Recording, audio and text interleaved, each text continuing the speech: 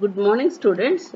Today's class is about physiology of uh, pregnancy. Physiology of pregnancy.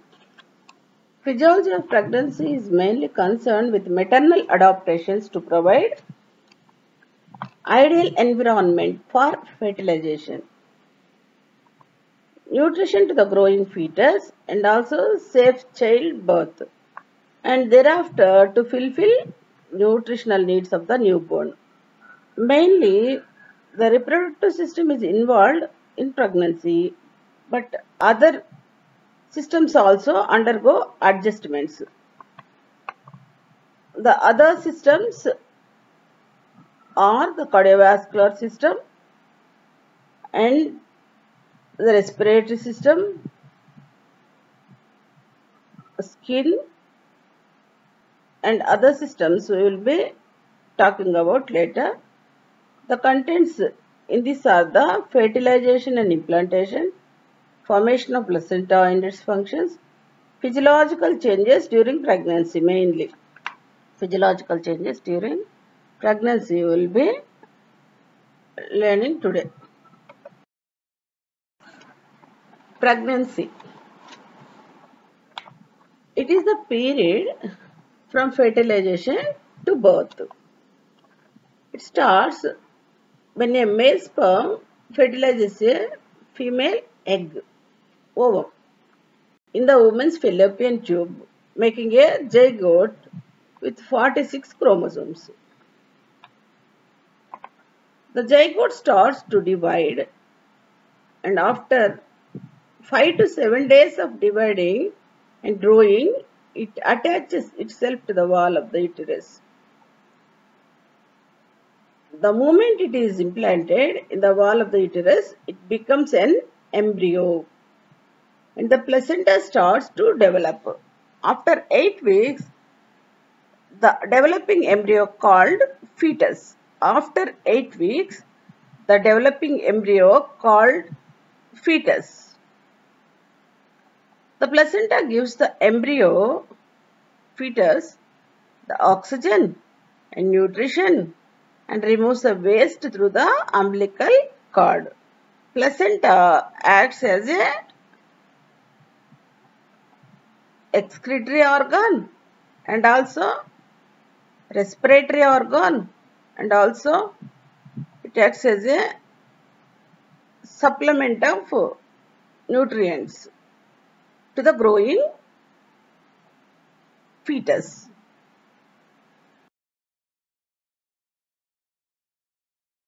Fertilization.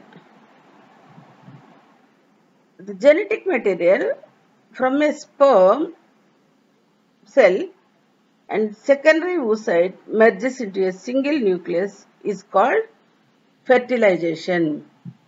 The genetic material from a sperm cell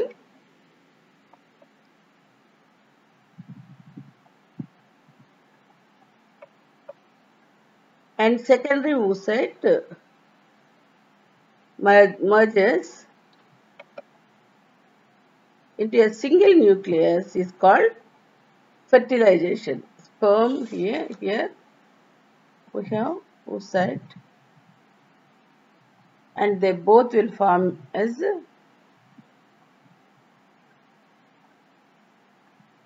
fertilization occurs within the fallopian tube. About 6 days after fertilization, the blastocyst attaches to the endometrium. A process is called implantation. Fertilization is the fusion of male and female gametes. And implantation is about 6 days after fertilization, the blastocyst attaches to the endometrium. A process is called implantation.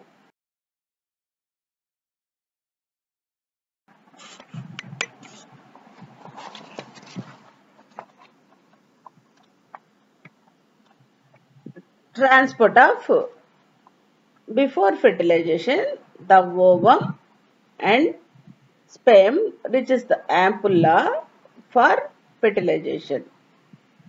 Transport of ovum. At the time of ovulation, the ovum is directly expelled into the peritoneal cavity and then enters into fallopian tube from the ovary. It and directly enters into the fallopian tube. The fimbria of the fallopian tube are internally lined by ciliated epithelium. When ovulation occurs, the fimbria of infundibulum encircles the surface of the ovary, rub it, and pick up the ovum and then direct it towards the ostium by continuous beating of cilia. The contractions of the smooth muscle fiber present in the wall of the fallopian tube also help in transport of ovum. These contractions increase at the time of ovulation under the influence of estrogen. Before fertilization, the structure of the ovum is it contains 23 unpaired chromosomes surrounded by inner membrane. We call it as zona pellucida consists of glycoprotein and it is surrounded by corona radiata consists of granulosa cells arranged in multi-layers. In embryology, you will be learning all the, these things. These cells are held together by matrix composed of hyaluronic acid. The ovum is held at the ampulla isthmus junction for 2 to 3 days. It will be held for 2 to 3 days. Remains viable for 6 to 24 hours after ovulation. During this period, if viable sperm penetrates it, fertilization takes place and leading on to pregnancy. On the other hand, if fertilization does not occur, the ovum dies out of and it degenerates. About the sperm, after ejaculation, several million sperms, about uh, our age 200 million, get deposited in the vagina. Out of these, 100 manage to reach onto the ovum and only one is able to penetrate it. This is because of several factors. Transportation is because of motility of the sperm, pH medium, cervical mucus, fluid currents, temperature, hormones. These will all plays a major role for the sperm to transport and also sperm capacitation also. This refers to process that makes a sperm to fertilize uh, or to fertilize the ovum. Immediately after ejaculation, the female genital tract and the sperm undergo certain changes that enable to fertilize an. It takes 10 hours. Sperm capacitation occurs due to removal of certain factors. They are the cholesterol content of acrosomal membrane.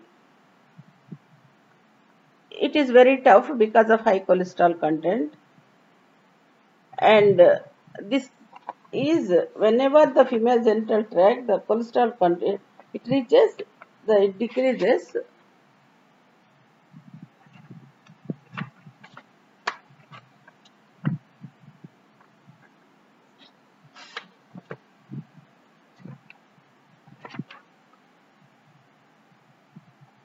So here we see the ovary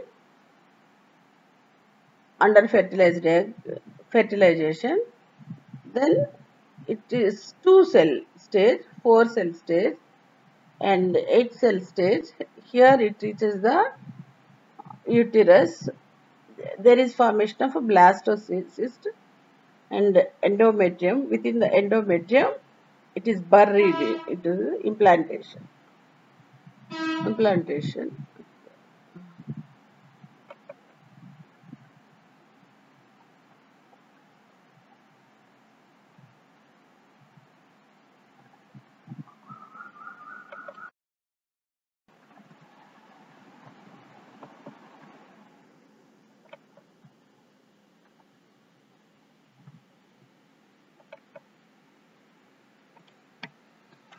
Here we can see the ovum released from the ovary that is matured one and it combines with the sperm and forms the zygote that is fertilized egg. And then in the first day first cleavage takes place and then it is converted and divided into two cell stage third to fourth day four cell stage then eight cell stage. Formation of blastocyst the fertilized ovum starts dividing immediately and is called morula. 16 cell.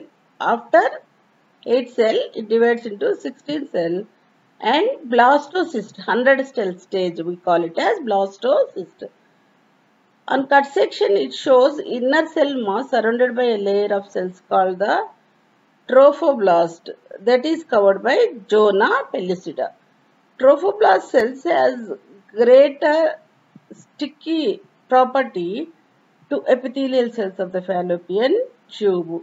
As blastocyst is covered by zona pellucida, the trophoblasts are not exposed, hence blastocyst is usually not implanted in the fallopian tube.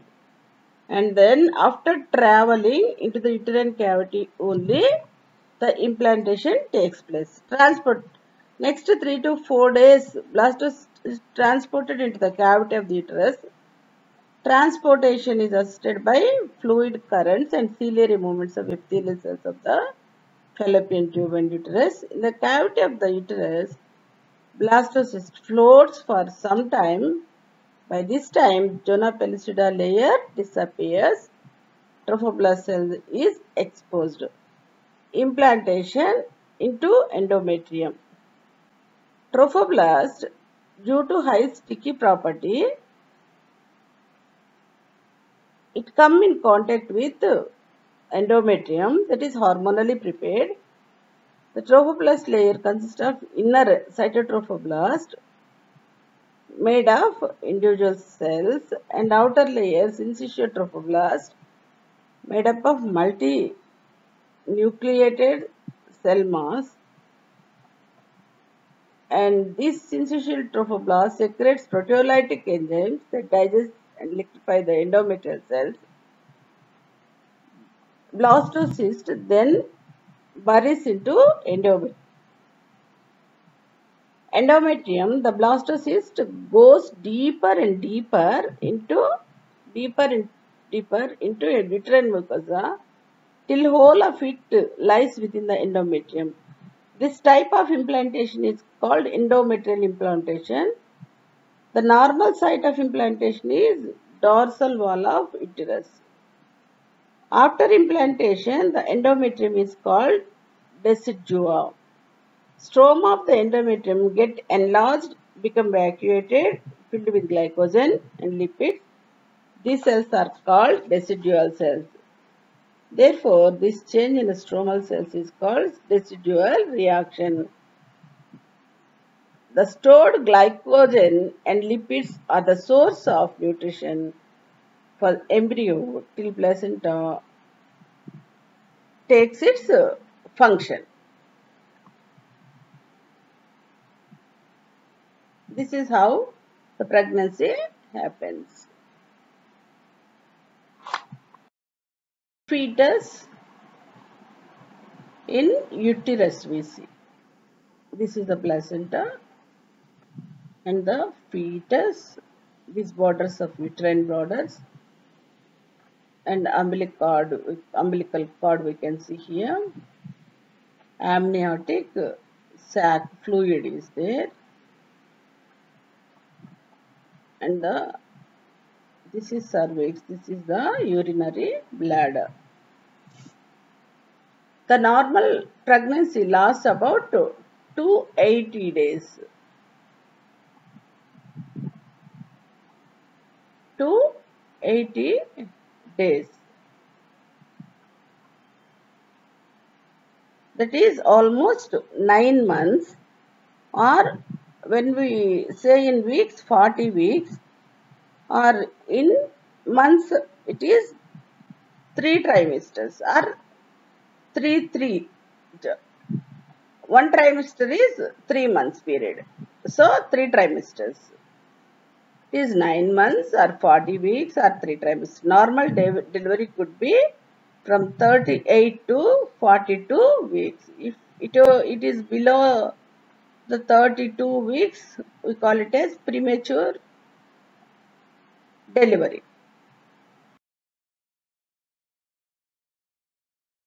Signs of pregnancy, presumptive physiological signs noticed by the woman herself.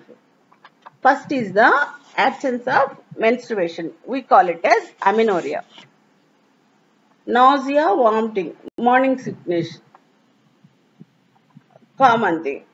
Most of the women will face this problem. Breast tenderness and swollen, urination, frequency of urination will be more, easy fatigability and sleepiness.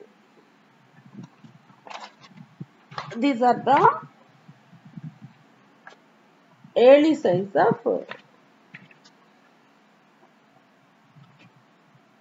pregnancy.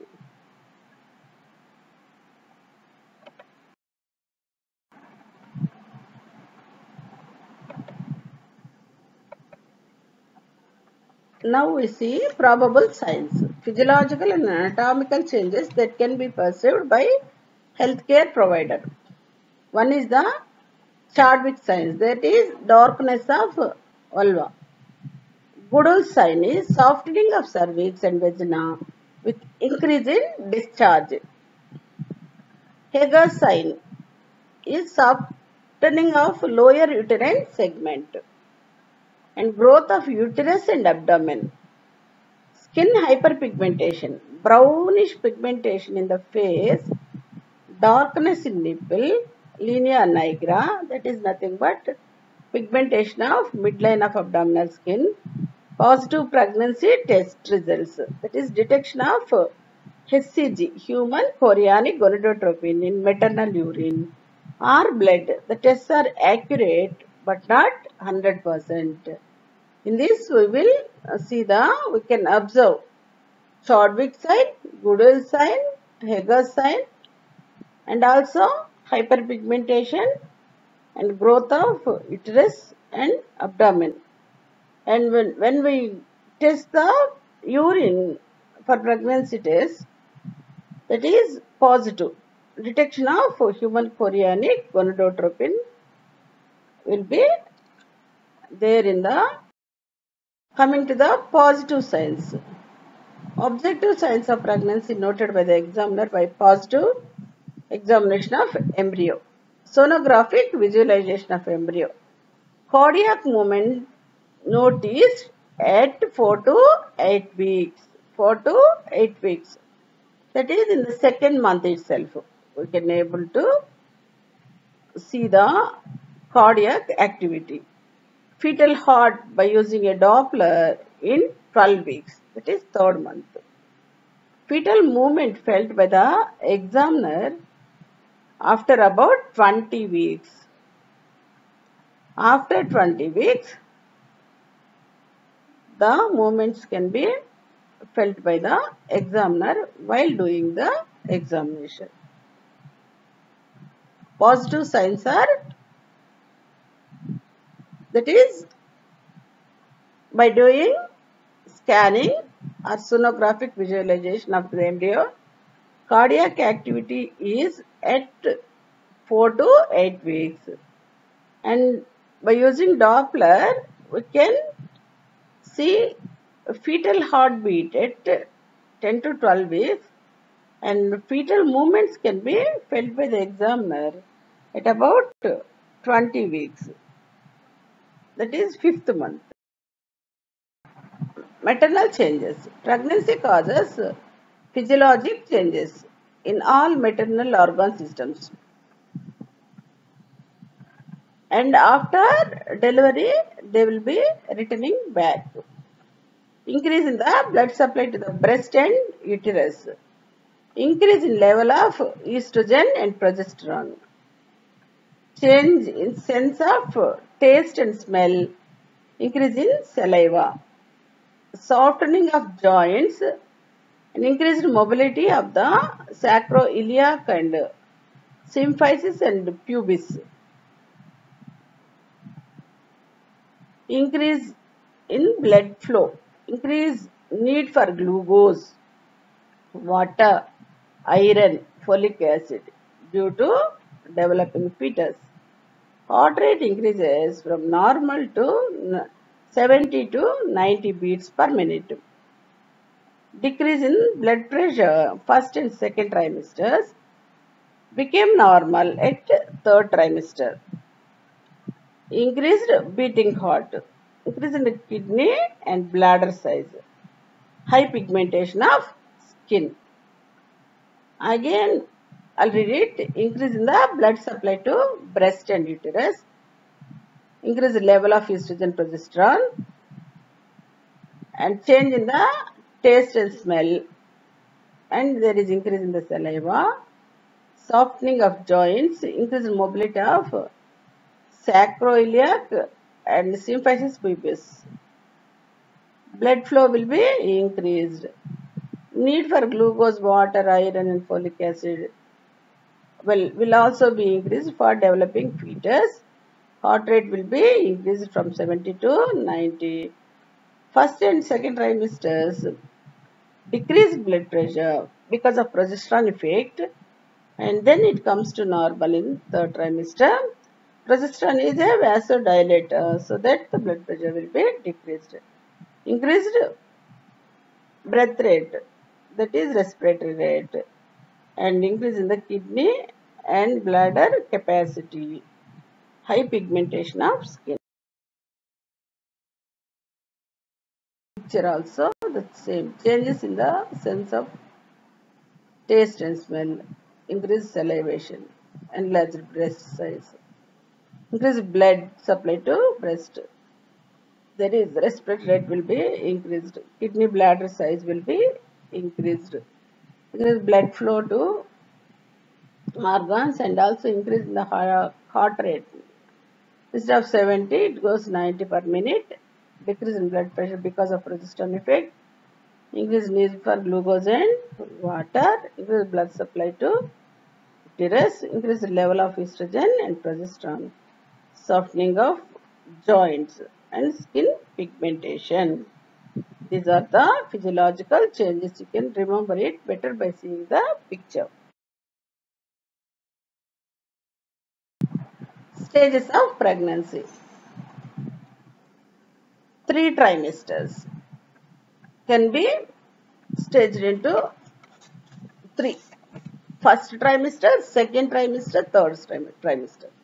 First trimester is first week to 12 weeks, third month almost. During the first trimester, hormonal changes affect almost every organ system of the body. The baby developed rapidly. The major organ developed in this trimester. Menstruation stopped. Amenorrhea, as we see. Pregnancy symptoms and signs are mood swings, headache, morning sickness. First trimester in the baby.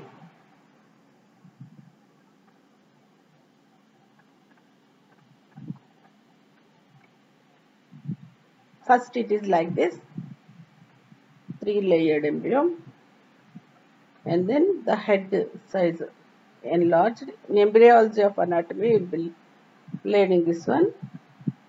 The baby's brain, heart and spinal cord have begun to form. Brain, heart and spinal cord. Baby's heart starts to beat in 8th week. Sex organ begins to form. The face starts to form.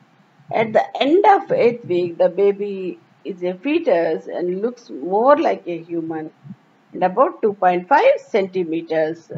At 12 weeks, we can see it. If he is a boy or girl and the baby can make a fist, the baby can make a fist.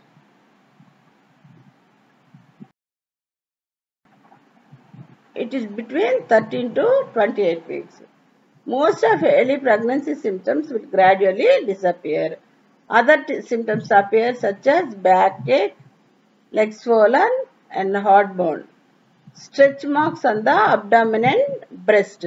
The uterus will grow rapidly in size. Fetus moves at about 18 to 22 weeks. Increase of heart rate and blood flow to accommodate the need of the fetus.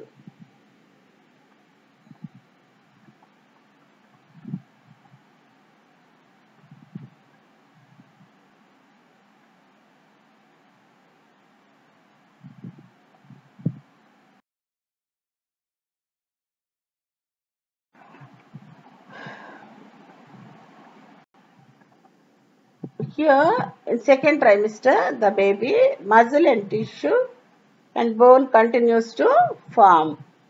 Skin begins to form in the 16th week. The baby can hear and swallow at 20th week. Real hair begins to grow on baby's head at 24 weeks. At 24 weeks, real hair will start the lungs are formed but do not work. Instead of lungs, placenta will work. At the end of trimester, the baby now about 30 centimeters. The baby is about 30 centimeters. Here the new things are the baby can hear and swallow and also the lungs are formed but they do not function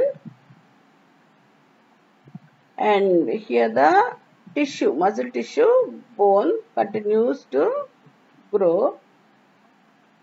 Skin begins to form at uh, 16th week, 4th month.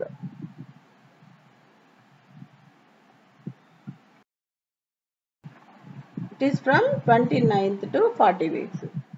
During this final trimester, fetus grows larger and body organs mature. The fetus moves frequently between 27 to 32 weeks, usually set into a head down position in the uterus. It is head down position, shortness of mother breath, belly button of mother may stick out, the breast begins to produce colostrum that is yellowish rich milk.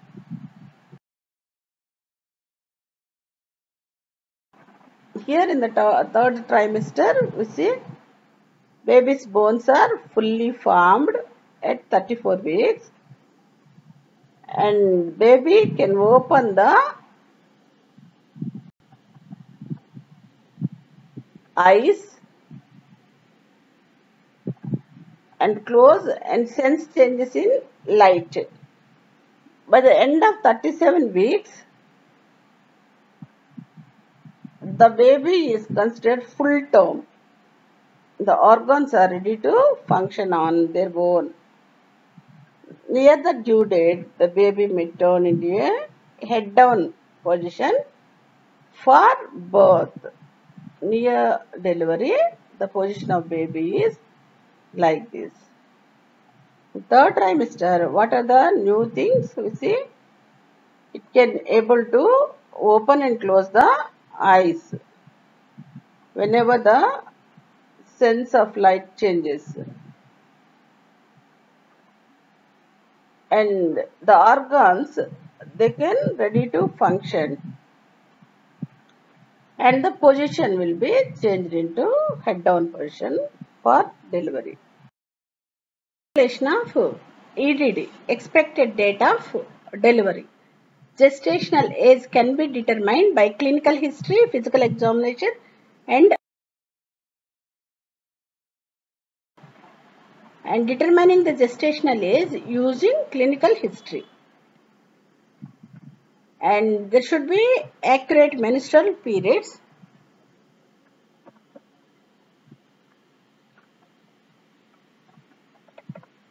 first day of LMP uh, based on Naegele's rule. That is, we have to add 9 months plus 7 days to the last day of menstrual period. we have to add 9 months and 7 days to the LMP of the patient. Then we will be getting the expected date of delivery. EDD is 280 days from the LMP. Must be regular cycles, accurate. Inaccurate patients following circumstances, oligomenorrhea or irregular cycles, bleeding in the first trimester and uh, pregnancy following the use of oral contraceptives uh, that is uh,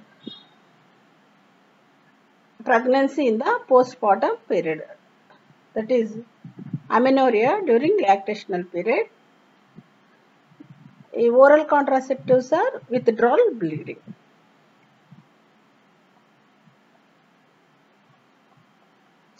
these are the circumstances to summarize everything